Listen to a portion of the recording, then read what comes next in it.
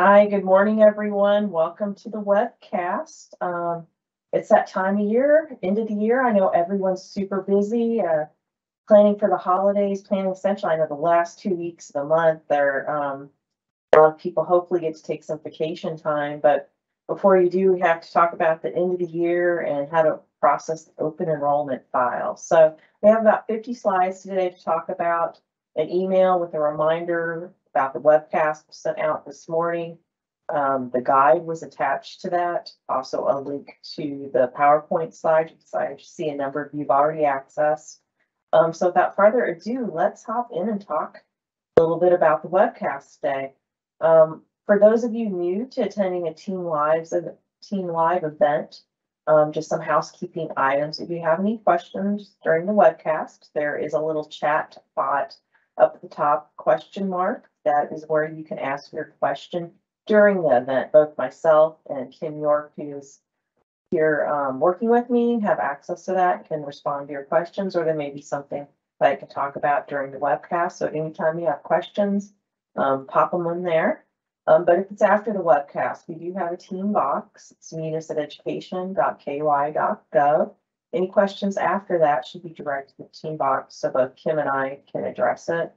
Also, this webcast will be archived, so there's no need to wait. The attendee link will actually continue to work um, for the short time, but for um, the long term, the webcast will be saved on the KDE media portal.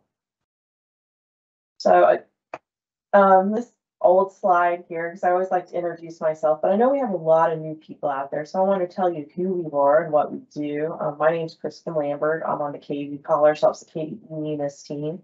We're within the Office of Education Technology and the Division of School Technology Services. There's a total of three of us on the team, uh, myself and Kim York, and we work with our vendor partner, Kathy Pelletier.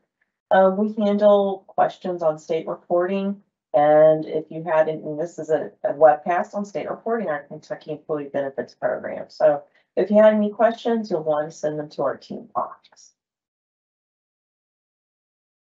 So we're here today to talk about two thousand and twenty-three.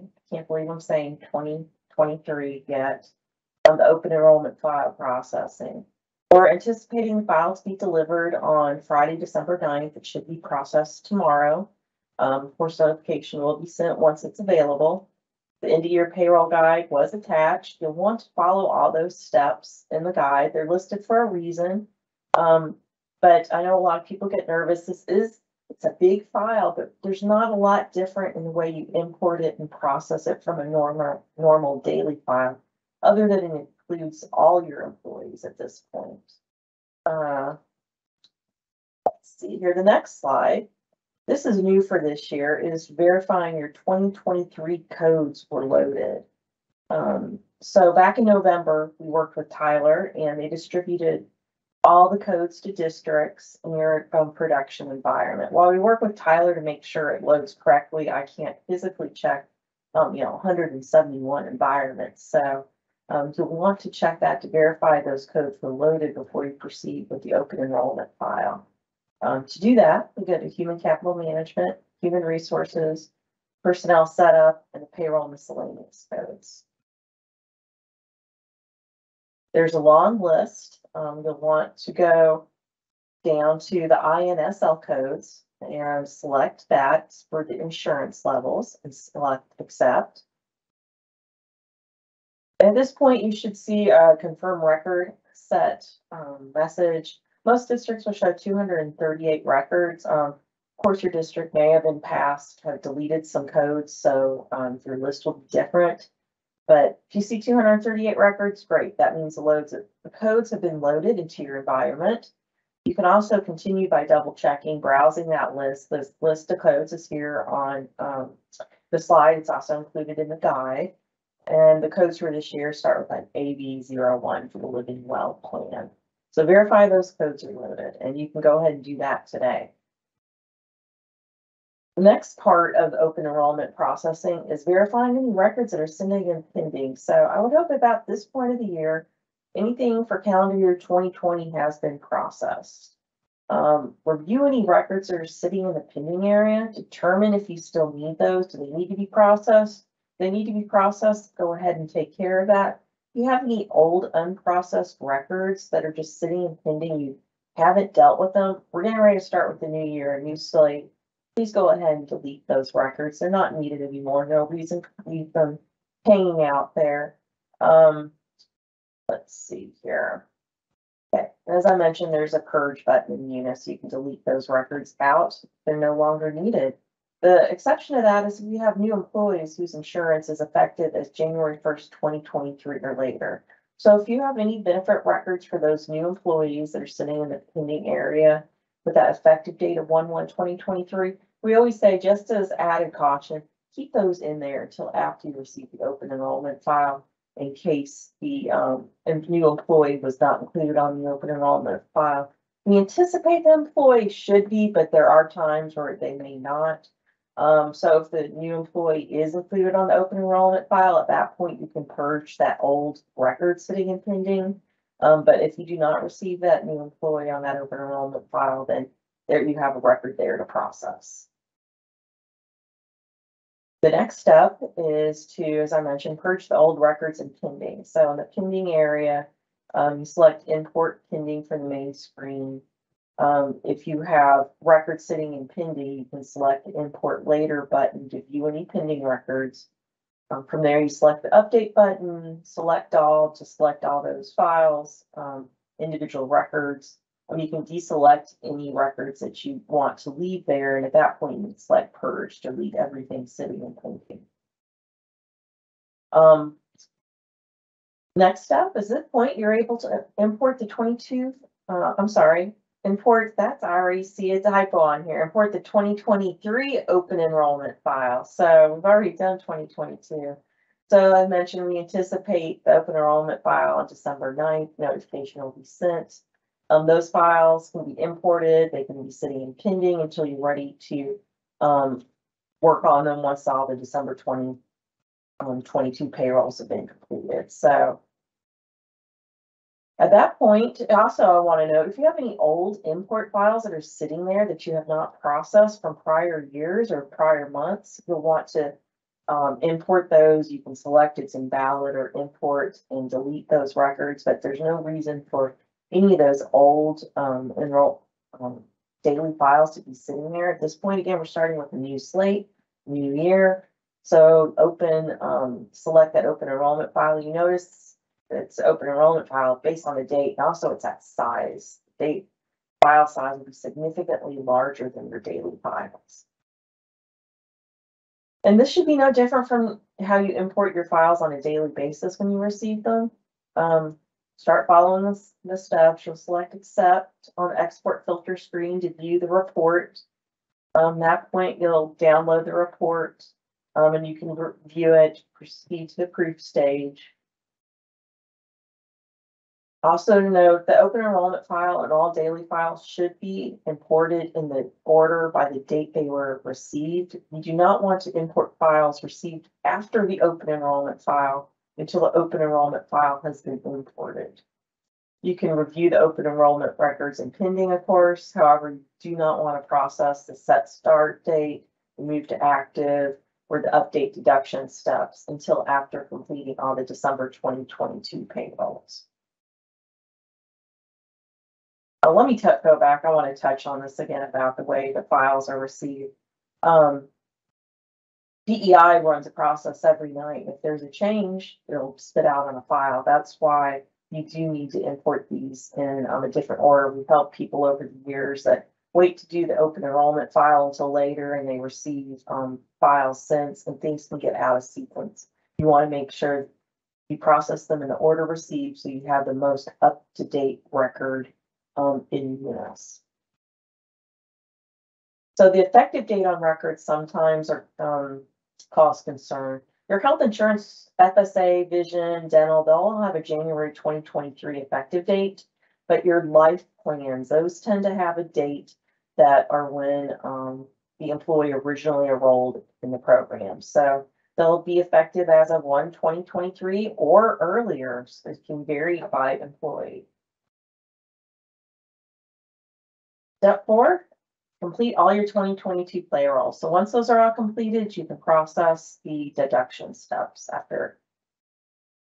I always like to say, let's start with a clean slate. So step five, you'll find and delete last year's deductions in the employee deductions program. You want to make sure this is done and completed after all your twenty twenty-two payrolls have been completed.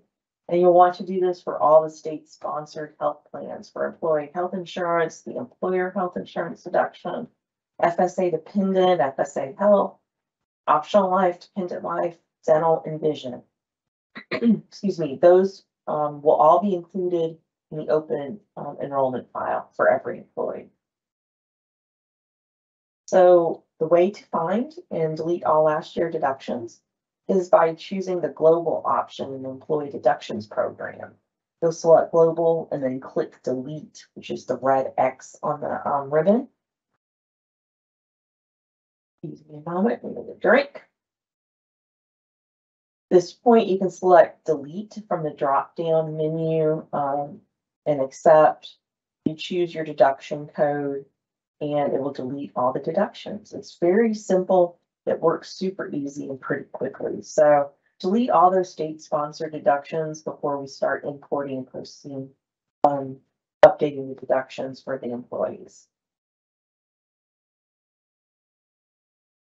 Next step at this point is you set your deduction start date and move the records to active.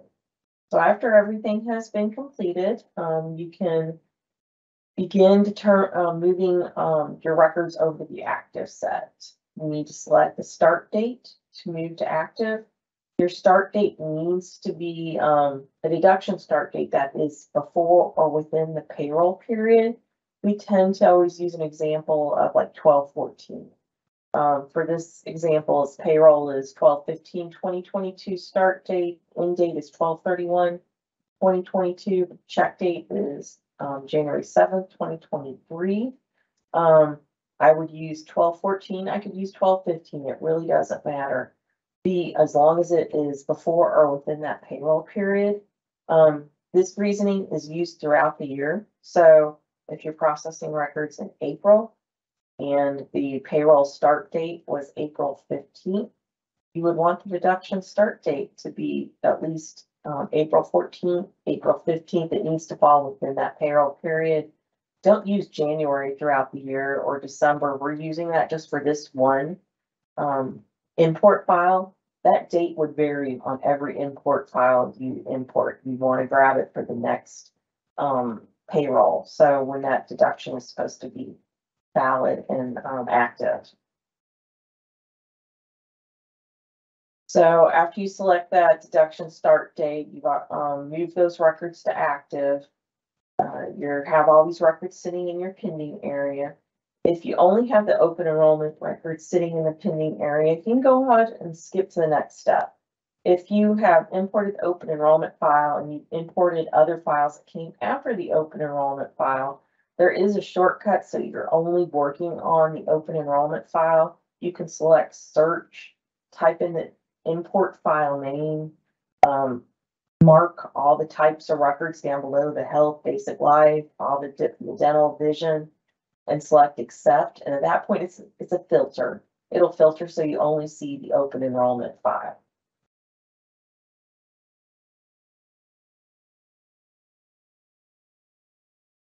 This process is really no different again than your um daily process with your open enrollment files and the pending area, you select update, you can select all, select all the open enrollment records and select accept. At this point, um, we're setting the deduction start date and moving the records to active, so you select update, um, select all and accept, you're gonna select the um start date and that enter the deduction start date that you're will assign. Um, like I was saying, we're gonna use maybe twelve fourteen in this example, and then you move to active.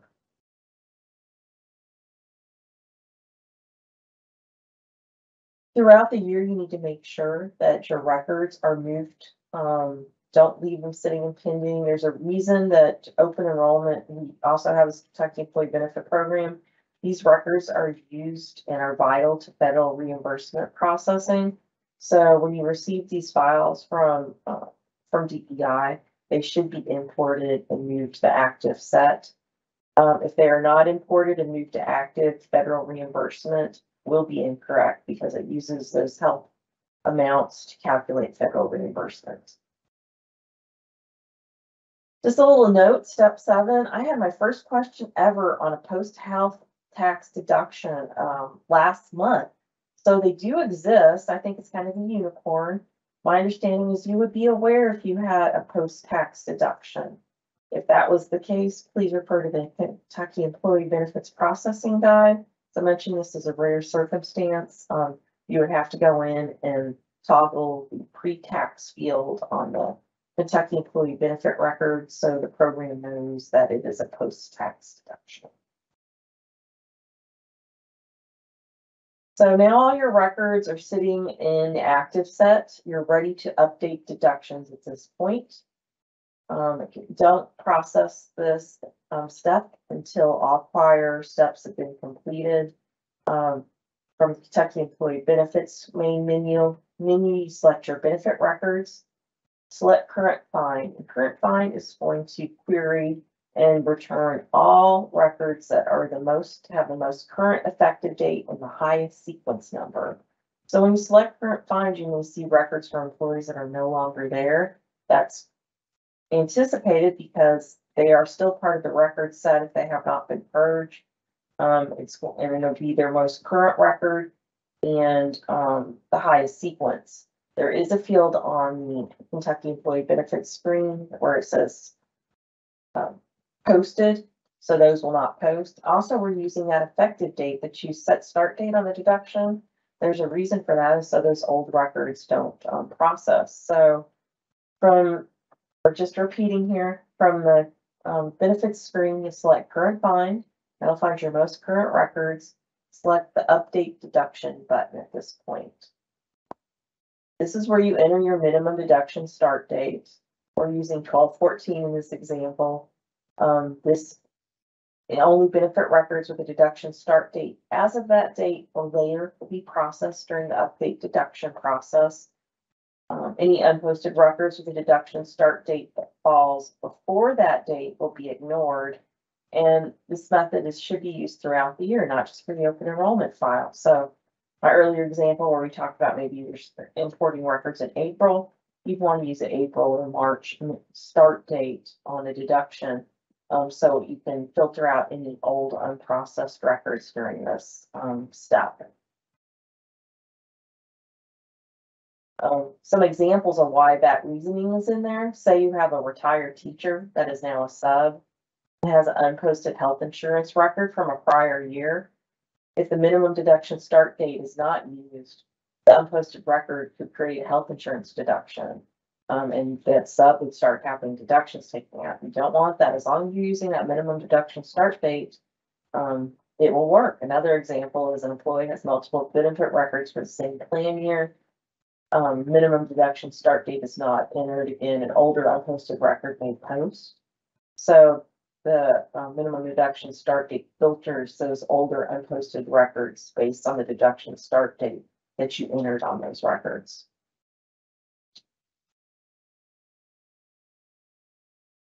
So at this point, you have the um, screen up. We talked about this stuff. You're gonna enter your minimum deduction start date. Always default to delete employee deduction. There's, even though you deleted all those deductions already, um, you'll select that. Uh, select all your type of records and put and um, output post. Select yes to post the um, deductions. At this point, if should you have any errors or problems come up, we've seen these periodically throughout the years on um, on certain instances. Not everyone, just some one district maybe has an issue here or there. It would happen at this step. If that does happen to you, please take a screenshot of that error messages. There may be several error messages. Please take a screenshot of each of those. Kim and I can work through fixing any issues that you have and, um, and help you out from that point forward. Knock on wood, hope hopefully we don't see any of those errors going forward. Some things have been fixed in the program in the past year. Um, but they still pop up now and then. So if you have any problems, please take a screenshot, um, because we can decipher the error from those error messages. The update deduction process must be performed in Munis. The reasoning for this is it posts both the employee and employer portion, which is critical for W two processing. Um, you know, you're, you as a district are responsible for making sure both the employee and employer um, deduction post because that cost is included on the W two.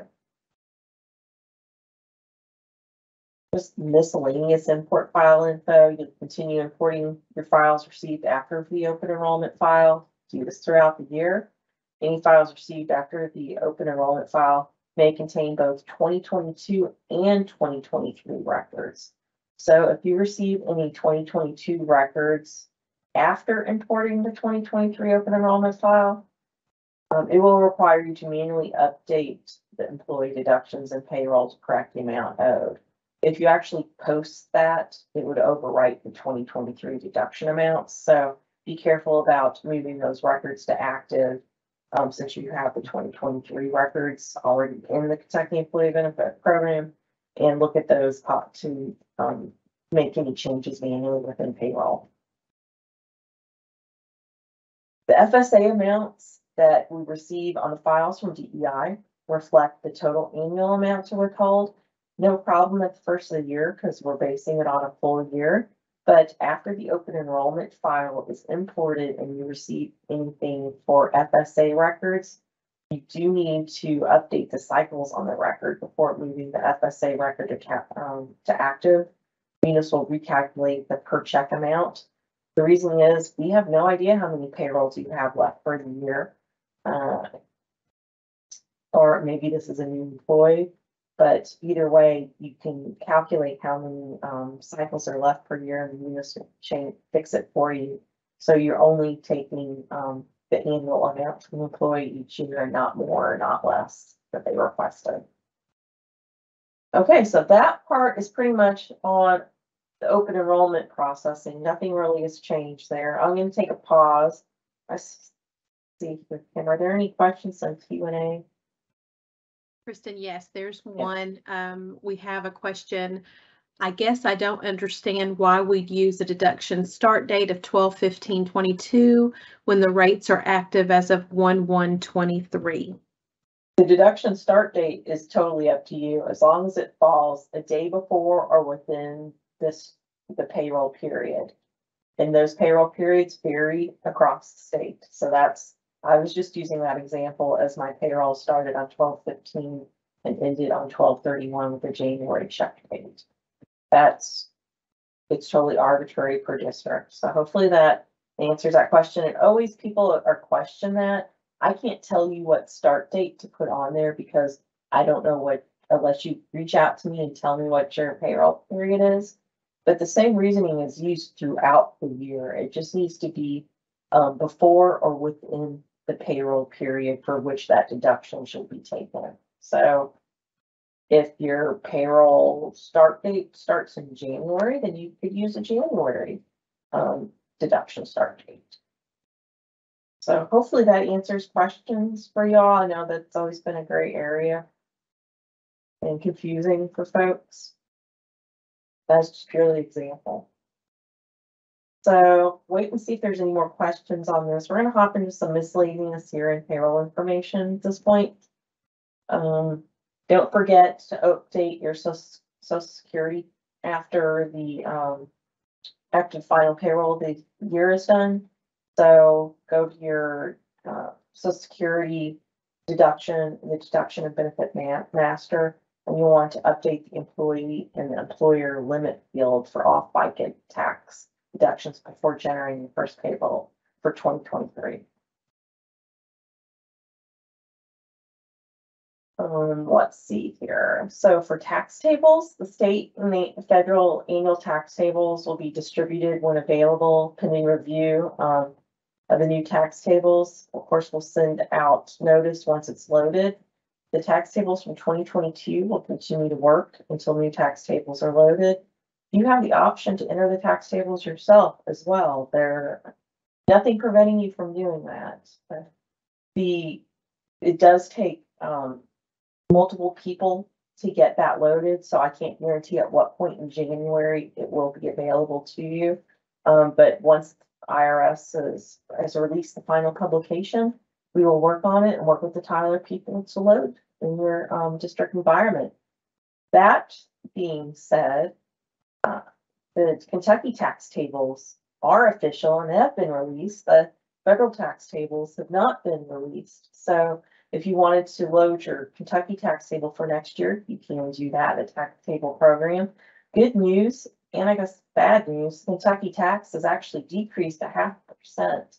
But I know the Department of Revenue is gonna start taxing different services, so.